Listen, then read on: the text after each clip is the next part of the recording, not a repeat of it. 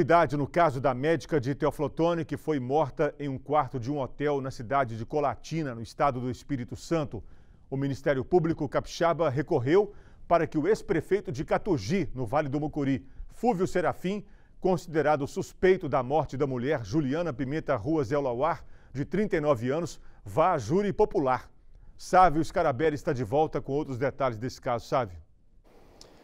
Pois é, Saulo, o Ministério Público do Espírito Santo, como você bem disse, pediu à Justiça Capixaba que o ex-prefeito de Catugi fosse levado então ao tribunal de júri é, pelas condutas de feminicídio qualificado pela asfixia também fraude processual majorada e consumo partilhado de drogas. Segundo o Ministério Público, há provas de que o suspeito era responsável por fazer a compra e também o transporte de drogas. Os medicamentos seriam adquiridos através de receituários assinados é, pela esposa no nome dele.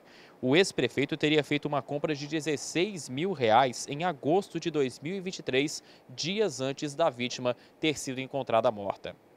Ainda segundo o Ministério Público, câmeras de segurança mostram que o suspeito teria demorado cerca de uma hora para acionar o socorro após a vítima ter sido encontrada em estado crítico. O médico socorrista do SAMU, inclusive, teria ficado esperando que o ex-prefeito pagasse uma conta para só então ter acesso ao quarto onde a vítima estava. O Ministério Público diz ainda que as provas demonstram incompatibilidade da versão do suspeito com os laudos de exame sobre a morte da vítima. Sobre este assunto, em nota, o advogado Pedro Lozer Pacheco Júnior, que faz a defesa do ex-prefeito de Catugi, disse que já foi provado em uma defesa de mais de 60 páginas que seu cliente não matou a esposa. O profissional acrescentou que não existe nenhum elemento que possa demonstrar que o ex-prefeito cometeu um fato típico, antijurídio e culpável. Eu volto com você, Saulo. Obrigado, Sávio, pela sua participação aqui no MG Record. Boa noite para você, um bom descanso.